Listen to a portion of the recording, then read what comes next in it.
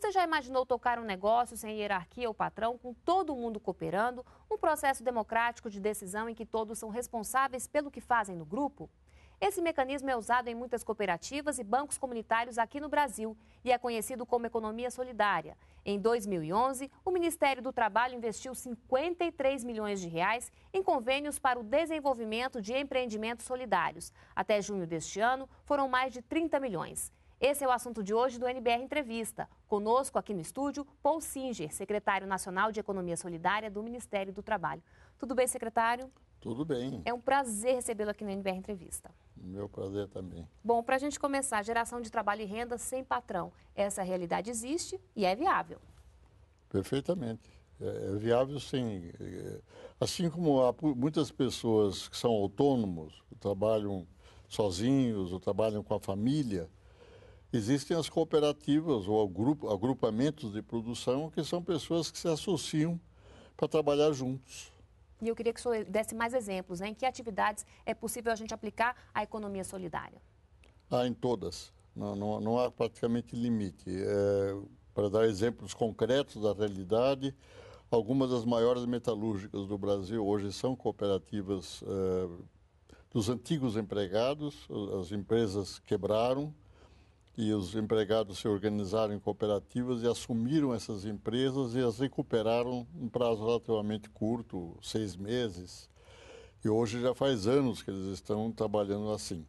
Então é um mecanismo que vale para grandes e para pequenos e também para grandes. Sim, pequenas empresas há muitas, há empreendimentos, por exemplo, de uh, criadores de abelhas, produtores de mel, a própolis, tem muito uh, cooperativa de pequenos agricultores, agricultores familiares. Há muito cooperativismo também uh, nos artesãos e artesãs, principalmente artesãs, mulheres, fazem todo tipo de artesanato em cooperativa. Mas há muito, é difícil imaginar algum lugar em que não se possa fazer isso, ou seja, uma atividade autônoma associada. No caso das, dos grandes empreendimentos, é, a maioria dos casos é quando a, a, empresa quebra e os trabalhadores assumem o controle, é isso? É, eu acho que sim. Na maior parte dos casos, a origem costuma ser essa. A, as outras que não, não têm essa origem são, é, em geral, não dá para dizer todas, é, uma associação de pessoas que ficou à margem. Perderam o emprego, o empreendimento fechou, eles foram despedidos não tem muita chance de conseguir um outro emprego igual.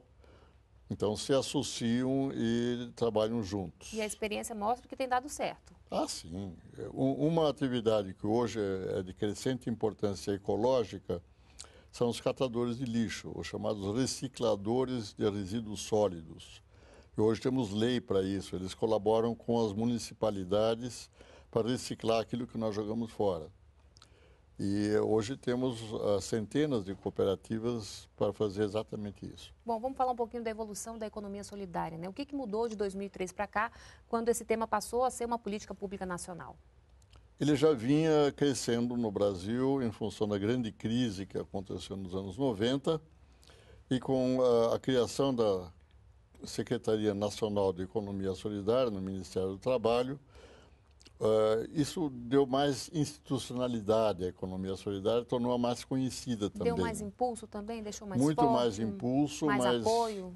É, no momento, quando foi criada a secretaria em 2003, a economia solidária estava em bom uh, processo de crescimento em algumas regiões do país, principalmente no sul do Brasil, no nordeste muito fortemente, no sudeste, menos no centro-oeste e no norte hoje está em toda a parte do Brasil. Está em toda parte. E há espaço para crescer? Há muito espaço, há muito espaço. É, ainda pode crescer muito mais, mas ela já cresceu nesses últimos anos acentuadamente. Já estamos fazendo um mapeamento da economia solidária e o nosso alvo são 30 mil empreendimentos, com provavelmente algo como 3 milhões de sócios ativos. A região mais forte é sudeste, em relação em, em função das metalúrgicas, é a parte sul-sudeste do país? Não, a parte mais forte, se a gente for comparar as regiões brasileiras, é o nordeste. Em segundo lugar, o sul, em terceiro lugar, o sudeste. E por que será no nordeste? O que, que se explica aí? Eu diria que a pobreza é uma possível explicação. Nossa política tem sido feita de fomentar a economia solidária para resgatar as pessoas da pobreza. E aí os investimentos têm sido grandes, não só do governo federal, mas também dos governos estaduais e municipais. E como é que isso é feito na prática? De que forma que o governo incentiva a economia solidária hoje no país? Há, há várias formas. Talvez a mais importante é da formação. A qualificação, né? É, o fato é de que, eh, como a senhora explicou eh, no início da entrevista, é pouco usual um empreendimento inteiramente democrático em que todos, ninguém obedece porque ninguém manda e as pessoas cooperam e dessa forma trabalham juntos. É isso precisa ser ensinado, isso é um uhum. ensinamento político, Sim. como é que se pratica a democracia.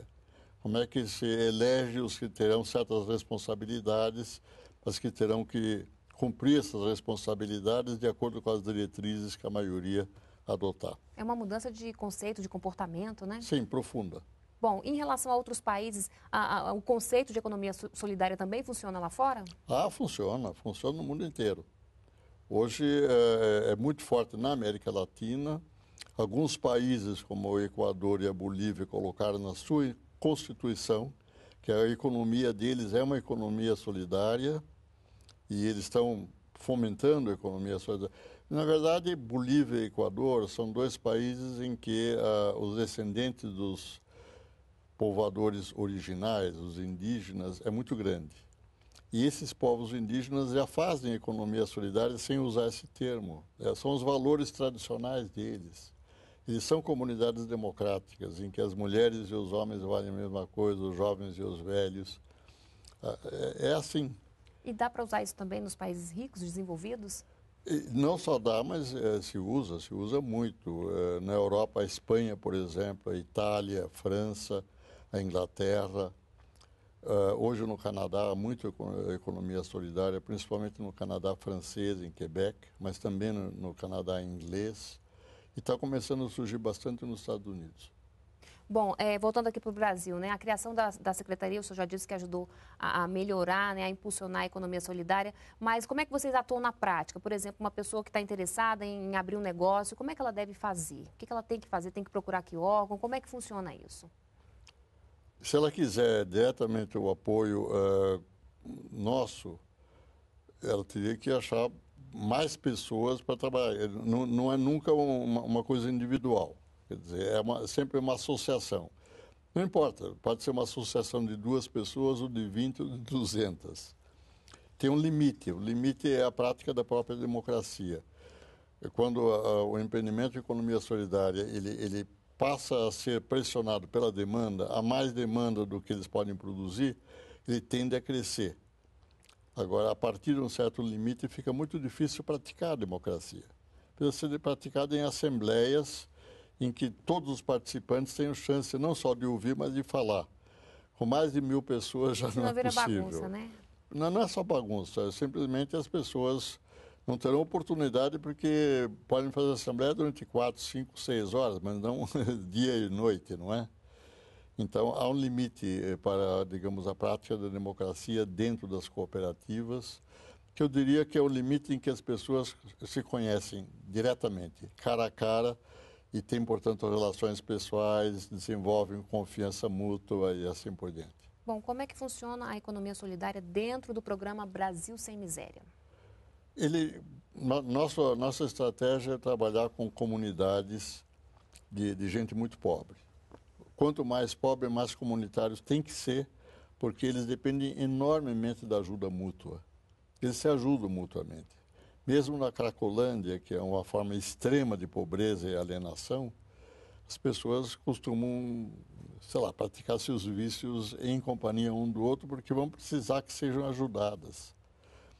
Então, essa, essa necessidade de ajuda mútua é para nós uma vantagem, porque é melhor trabalhar com uma comunidade inteira, uma comunidade territorial que moram juntos, etc., para desenvolver atividades econômicas em economia solidária, do que tentar uh, trabalhar com indivíduos ou mesmo famílias. Bom, as pessoas, as comunidades, elas têm conhecimento né, de que existe a economia solidária, né? Vocês têm alguma estratégia para poder estar tá divulgando isso?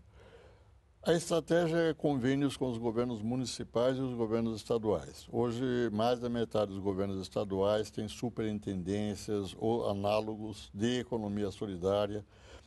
Uma estratégia importante são os centros públicos de economia solidária, são geralmente municipais.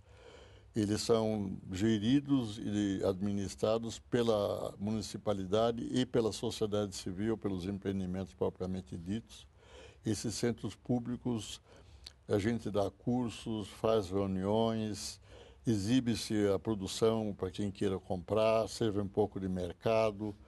Enfim, é, é, é um espaço muito importante, múltiplo, que permite difundir a economia solidária. Existe alguma ajuda financeira por parte dos municípios e estados para quem quer Sim. desenvolver a economia no, solidária? Nós, uh, o governo federal, é, é, ajuda no início, quando a necessidade de reformar um prédio, comprar equipamentos, computadores, sei lá o que precisa, nós ajudamos Vocês com estão... recursos públicos.